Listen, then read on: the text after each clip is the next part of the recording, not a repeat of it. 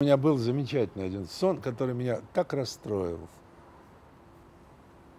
Это было в нашей коммуналке на улице Восстания. Я жил с бабушкой. Мне снилась гениальная музыка. Я слышал все инструменты оркестра. Все. Когда я открыл глаза, я подумал, ну да, это, наверное, по радио. И пока я шел вот к этой белой ручке, ну, радио, знаете, радио, и, и, и а, потрогал эту, этот э, выключатель, а он был э, выключен.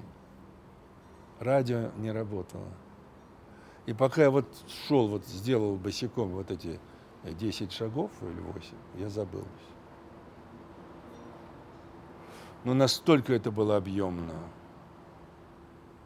Может быть, сейчас какие-то кусочки. Вот сейчас у меня есть одна мелодия, я все время наиграю. Может, оттуда и пришел маленький фрагмент. Но, но той большой музыки уже никогда. Но это было такой кайф. И это самое большое сожаление было, конечно.